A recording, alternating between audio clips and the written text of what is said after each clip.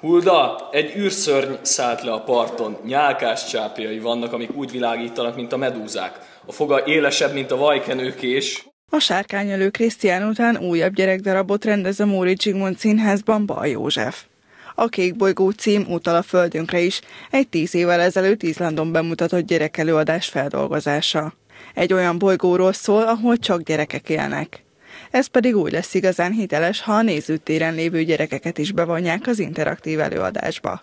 A próba folyamat alatt is többször e, ilyen úgynevezett tesztcsoportokkal fogunk dolgozni, tehát egy-egy részét az előadásnak, egy-egy foglalkozás jellegét, azt kipróbáljuk korábban is velük, hogy, hogy az minél jobban a kezünkben legyen. Szintén visszatérő vendég a színházban Halasi Dániel, aki ezúttal hamupipőke történetét álmodta újra.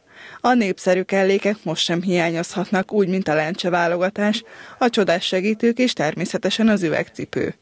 A Móri Zsigmond Színház nagy színpadán megelevenedő történet igazi ősbemutató lesz, és abban is kuriózumot jelent majd a feldolgozások sorában, hogy először vegyíti önálló darabként Romhányi József adaptációját Rossini azonos című vígoperájával. Az így születő előadás több generáció számára is átélhetővé teszi a jól ismert mesét.